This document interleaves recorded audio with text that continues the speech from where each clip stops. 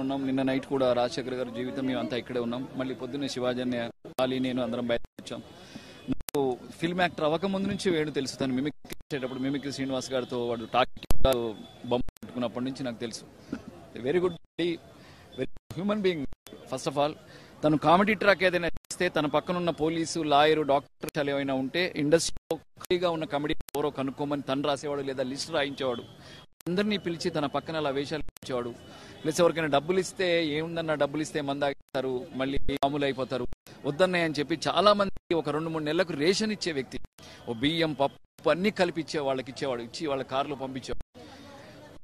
ఎంత అర్థ ఎంత అంటే అసలు జీర్ణించుకోలేకపోతున్నాం. చాలా చాలా బాధగా ఉంది. వేణు లేకపోవడం. రేపు చెప్పినట్టు రేపు మధ్యాహ్నం వన్ నుంచి త్రీ వరకు టూ థర్టీ వరకు చాంబర్లో ఉంటారు. ఆ తర్వాత మళ్ళీ తన స్వస్థత మౌలాలి వాళ్ళ రెసిడెన్స్ తీసుకెళ్తారు. We missed him a lot